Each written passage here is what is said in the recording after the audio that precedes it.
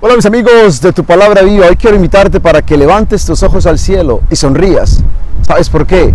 Porque Dios te ama, porque Dios te cuida, porque Dios te protege, porque Dios siempre está pendiente de ti, porque Dios es un Dios grande que te tiene en la palma de su mano, porque Dios no te va a dejar caer, porque Dios es fiel, porque puedes contar con Él en todo momento, en toda circunstancia, porque puedes venir a su presencia a la hora que desees y Él siempre estará ahí para ti. Así que hoy date cuenta lo mucho que Dios te ama, lo mucho que significas para Él y simplemente sonríe, porque la vida es alegre, la vida es hermosa, la vida es el regalo que Dios te da para que hoy hagas lo mejor que puedas con este regalo hermoso que se llama la vida. Hoy el Evangelio está tomado de San Juan en el capítulo 20 y por supuesto la iglesia celebra una fiesta muy especial, la fiesta de María Magdalena. Aquella mujer que según Lucas en el capítulo 7 fue sanada, ¿sí? Fue sanada de siete demonios y por supuesto le servía al Señor. Le servía al Señor con todos sus bienes. ¿Por qué me encanta esta mujer llamada María Magdalena? Magdalena porque era de un pueblo llamado Magdala cerca de Cafarnaum en Galilea. Y lo interesante de esta mujer es que después de ser sanada, se convirtió en seguidora de Jesús y no solamente en eso, sino en servidora de Jesús. Fue sanada para seguir y para servir. La fidelidad de esta mujer creo que es un ejemplo para cada uno de nosotros, porque dice el Evangelio que le servía al Señor con sus bienes. Muchas mujeres le siguieron a Jesús. Hoy quiero darle gracias a Dios por el testimonio de tantas mujeres a lo largo de todos los siglos, a lo largo de todos los tiempos, que han caminado con Jesús, que han dado testimonio de Jesús, que con sus bienes, que con sus talentos, que con sus capacidades, con sus habilidades, simplemente han estado allí para el Señor Jesús, para seguirle, pero también para servirle. Y esta mujer lo hizo.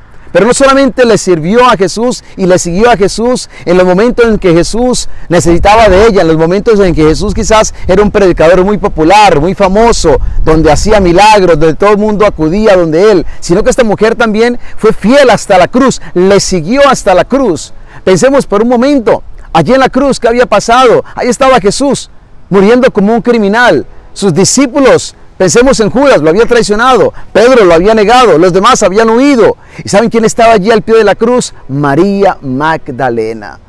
Pudiéramos decir, y creo firmemente, que quizás María Magdalena fue de las últimas mujeres que se fueron de la cruz. Pero también ella quería estar cerca al cuerpo de Jesús. Por eso fue el primer día de la semana, el sepulcro. Sí, quería ungir el cuerpo de Jesús, prepararlo. Allí estaba María. ¿Para qué? Para estar al pie simplemente del hombre que la amaba, el hombre que la había liberado, el hombre que la había transformado. Pero bendita fidelidad de María Magdalena, porque fue la primera en ver a Cristo resucitado. ¡Qué hermosura! Ese fue el premio de la fidelidad a esta mujer. La primera en ver a Jesús resucitado y luego la primera en ir a anunciar que lo había visto. Por eso se le llama y se le honra en la iglesia como con el título de apóstol de los apóstoles. ¿Por qué? Porque ella anunció a Jesús resucitado.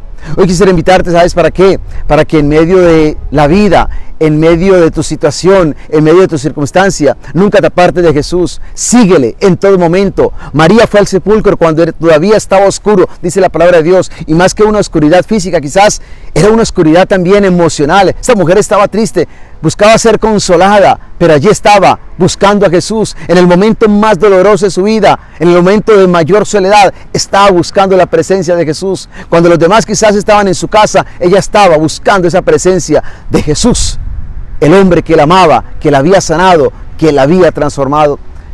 Que en cualquier circunstancia de tu vida nunca te olvides de Jesús. Búscalo, sea de noche, sea de día, y verás que tu fidelidad traerá una gran alegría y bendición para ti, porque verás a Jesús resucitado que pronuncia tu nombre y que te llama a estar por siempre con Él para disfrutar de su grandeza, de su poder y de su resurrección. Hoy pido para que el Señor traiga una bendición enorme a tu vida. Hoy pido al Señor para que te dé fuerzas, para que puedas caminar, para que puedas seguirle, para que puedas mantenerte fiel hasta el final. Y que ojalá el Señor Jesús te permita hoy contemplar la hermosura de su rostro, escuchar su palabra y sobre todo ser testigo de que Él realmente vive y está en tu vida. Que Dios te bendiga ahora y siempre. En el nombre del Padre, del Hijo y del Espíritu Santo. Amén.